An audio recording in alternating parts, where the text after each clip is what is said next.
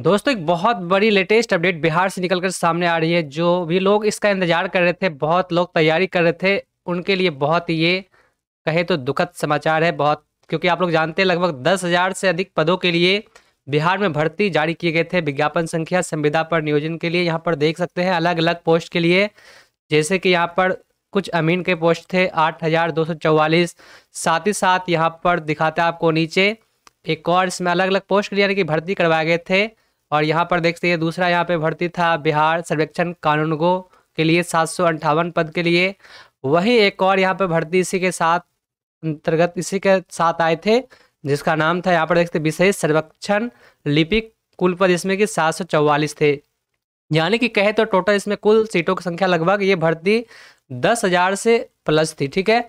और इसमें आज एक बहुत बड़े अपडेट नोटिस जारी किए गए हैं बिहार सरकार की तरफ़ से, जो कि आपके स्क्रीन पे है, देख सकते हैं, राजस्व एवं भूमि सुधार विभाग के द्वारा भू अभिलेख एवं परिमाप निदेशालय द्वारा ये सूचना जारी किए गए हैं।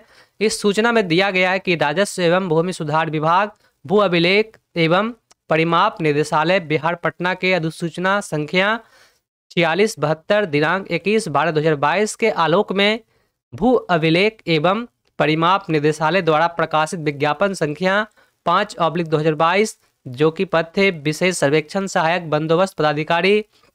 दूसरा विज्ञापन संख्या छः ऑब्लिक दो विशेष सर्वेक्षण कानूनगो।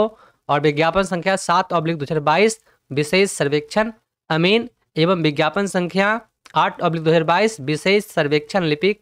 इन भर्ती को रद्द किया जाता है। इस भर्ती को यहाँ पर रद्द कर दिया गया है। देख सकते हैं आप लोग, ये नोटिस जारी किए गए उक्त अधिसूचना में प्रावधानित नियम के आलोक में बिहार संयुक्त प्रवेश प्रतियोगिता परीक्षा, यानी कि बी सी सी ई बोर्ड के माध्यम से विज्ञापन प्रकाशित की जाएगी, जिसमें विज्ञापन के शर्तों के अनुरूप योग्य अभ्यर्थी आवेदन कर सकेंगे।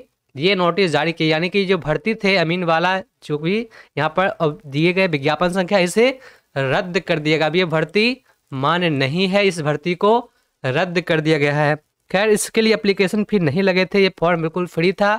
इस वजह से सरकार जब मन हो इसमें भर्ती ला सकती है कैंसिल कर सकते हैं।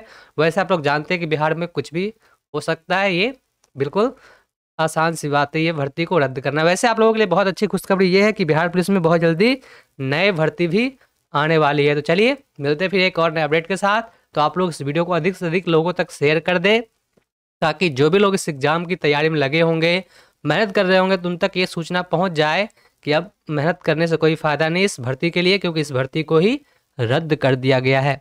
मिलते हैं फिर आपसे एक और नए अपडेट के साथ। तब तक के लिए धन्यवाद। आपका दिन शुभ हो।